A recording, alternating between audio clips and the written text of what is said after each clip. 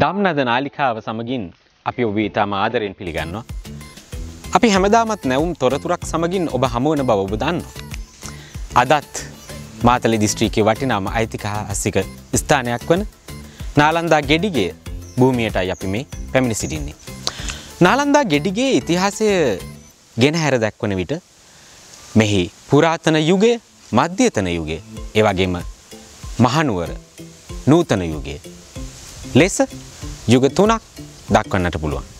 ඇත්තරම මේ නාලන්දා ගෙඩිගේ හා සම්බන්ධ ඉතිහාස කතා ඉතාම රාසියක් මේ භූමියත් සමගම ආදේශ වී අපේ ජනප්‍රවාදයට ඉතිහාසයට එක් වෙලා තියෙනවා.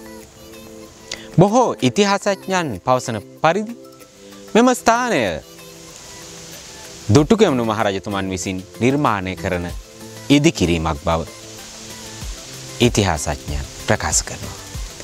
HCP බෙල් ඒ වගේම සෙනරත් පරණ විතාරණයන් පවසන ආකාරයට එය එසේ සිදුවත්. ජනප්‍රවාදයේ ජනකතා විශාල සංඛ්‍යාවකින් කියවෙන්නේ ප්‍රාග් ඓතිහාසික යුගයේ මහාරාවණ රජු දවස මෙම මහා නිර්මාණය මේ වටිනා නිර්මාණය ඉදිකර ඇති බව ජනප්‍රවාදයේ පවතිනවා. මෙම ස්ථානයට නුදුරුව නාලන්දා ජලාසය ඔබට දැකගන්නට පුළුවනි.